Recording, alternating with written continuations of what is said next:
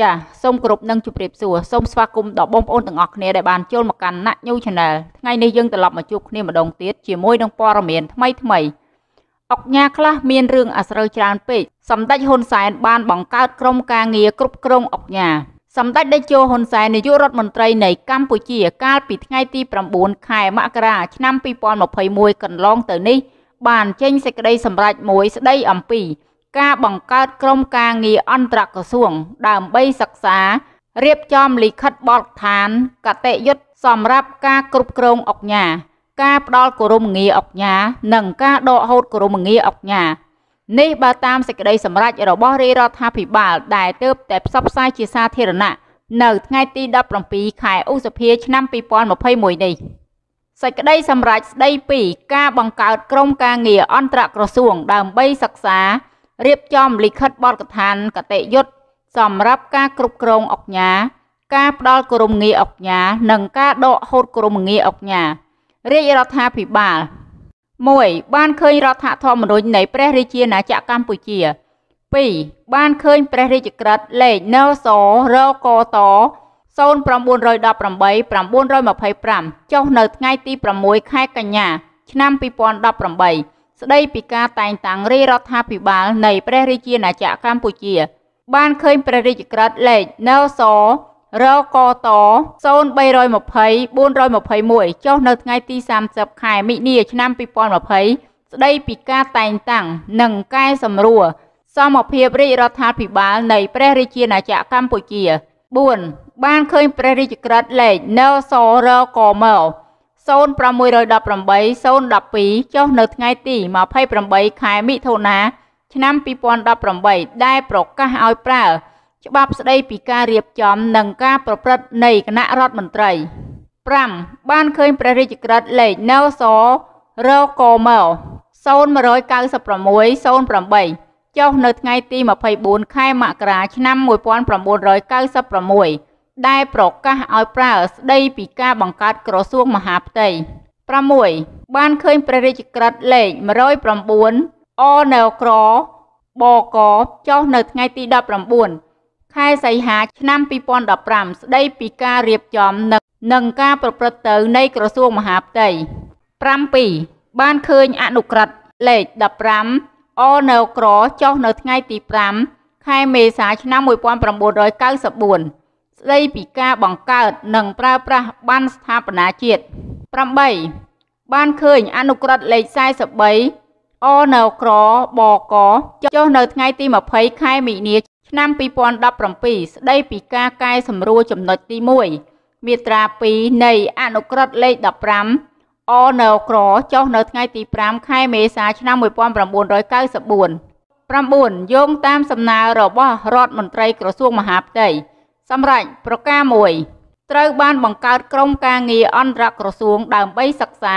រៀបចំលិខិតបទដ្ឋានកតេយុត្តសម្រាប់ការគ្រប់គ្រងអុកញ៉ានិងផ្ដល់គោរមងារអុកញ៉ានិងការដកហូតគោរមងារអុកញ៉ាដែលមានសមាជិកភាពដូចខាងក្រោម1ឯកឧត្តមប៊ុនហ៊ុនរដ្ឋលេខាធិការក្រសួងមហាផ្ទៃជាប្រធាន2តំណាងទីស្តីការគណៈរដ្ឋមន្ត្រីអនុប្រធាន 3តំណាងក្រសួងសេដ្ឋកិច្ចនិងហិរញ្ញវត្ថុជាសមាជិក4តំណាងក្រសួងមុខងារសាធារណៈជាសមាជិក5តំណាងក្រសួងយុតិធធជាសមាជិក6តំណាងក្រសួងវប្បធម៌និងវិចិត្រសិល្បៈជាសមាជិក7តំណាងក្រសួងធម្មការនិងសាសនាជាសមាជិក8ឯកឧត្តមត្រីសុកហេងអនុរដ្ឋលេខាធិការក្រសួងមហាផ្ទៃជាសមាជិក9ឯកឧត្តមប្រាក់សំអឿន អគ្គនាយកនៃអគ្គនាយកដ្ឋានរដ្ឋបាលក្រសួងមហាផ្ទៃជាសមាជិក10ឯកឧត្តមអ៊ូច័ន្ទនរាប្រធានក្រុមប្រឹក្សានីតិកម្មក្រសួងមហាផ្ទៃជាសមាជិក11ឯកឧត្តមពុទ្ធសុផាតអគ្គលេខាធិការរងនៃអគ្គលេខាធិការដ្ឋានក្រសួងមហាផ្ទៃជាសមាជិក12ឯកឧត្តមសួរប្រាថ្នាអគ្គនាយករងនៃអគ្គនាយកដ្ឋានរដ្ឋបាលទទួលបន្ទុក ជាប្រធាននាយកដ្ឋានកិច្ចការរដ្ឋបាលរាជធានីខណ្ឌនិងខេត្តជាសមាជិក ប្រការ2ក្រុមការងារនេះមានភារកិច្ចដូចខាងក្រោម 1. សិក្សាស្រាវជ្រាវនិងផ្ដួចផ្ដើមក្នុងការបង្កើតលិខិតបទដ្ឋានកតេយុត្តសម្រាប់ការគ្រប់គ្រងអុកញ៉ា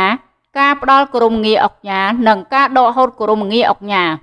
2. សិក្សាស្រាវជ្រាវច្បាប់លិខិតបទដ្ឋានកតេយុត្ត ដើម្បីជាធាតចូលសម្រាប់រៀបចំការគ្រប់គ្រងអុកញ៉ា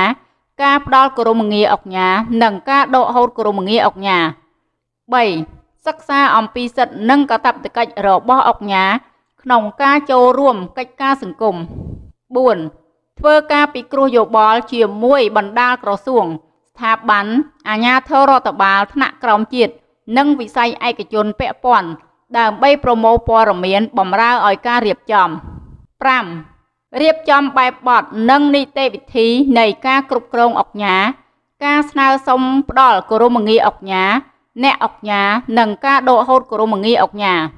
6ធ្វើរបាយការណ៍អំពីវឌ្ឍនភាពនៃការងារជូនសម្ដេចក្រឡាហោមសខេងឧបនាយករដ្ឋមន្ត្រីរដ្ឋមន្ត្រីក្រសួងមហាផ្ទៃដើម្បីពិនិត្យសម្រាប់និងផ្ដល់យោបល់ដឹកនាំដ៏ខ្ពង់ខ្ពស់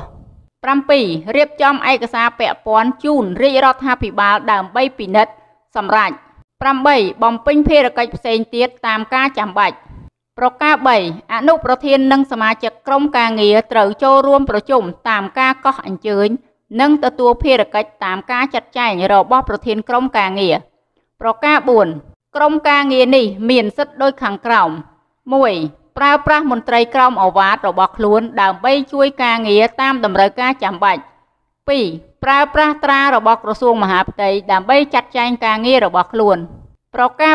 5រដ្ឋមន្ត្រីទទួលបន្ទុកទីស្តីការគណៈរដ្ឋមន្ត្រីរដ្ឋមន្ត្រីក្រសួងមហាផ្ទៃរដ្ឋមន្ត្រីក្រសួងសេដ្ឋកិច្ច